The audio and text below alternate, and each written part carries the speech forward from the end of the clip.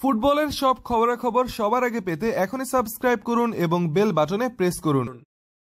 Neymar জুনিয়রের দলবদলের গুঞ্জন দিন দিন বেড়েই চলছে। এরই মধ্যে চোট কাটিয়ে পুনরায় সেরে উঠেছেন ব্রাজিলিয়ান ফরওয়ার্ড তবে ভবিষ্যৎ অনিশ্চিত হওয়ায় দলের সেরা তারকাকে মাঠে নামাতে নারাজ পিএসজি কোচ থমাস টুকেল গত মৌসুম শেষের পর থেকেই নেইমার জুনিয়র বার্সেলোনায় ফেরার সম্ভাবনা নিয়ে গুঞ্জন চলছেই। একই সঙ্গে তার রিয়েল মাদ্রিদে যোগ দেওয়ার সম্ভাবনা নিয়েও আসছে নানা খবর। এইসবের মধ্যে প্রাক মৌসুম পর্বে প্রস্তুতি ম্যাচে এক মিনিটের জন্য মাঠে নামানো হয়নি বিশ্বের সবচেয়ে দামি এই ফুটবলারকে। নেইমারকে খেলানো হয়নি লিগের প্রথম দুই ম্যাচ। বাংলাদেশ সময় রোববার রাত একটায় লিগ ওয়ানের ম্যাচে ঘরের মাঠে তোলুজের মুখোমুখি হবে পিএসজি এই ম্যাচকে সামনে রেখে সংবাদ সম্মেলনে এসেছেন পিএসজি কোচ থমাস টুকেল এ সময় নেইমারের দলবদল প্রসঙ্গে কথা বলেছেন তিনি। সংবাদ সম্মেলনে পিএসজি কোচ থমাস টুকেল বলেন, নেইমার ভালো অবস্থায় আছে।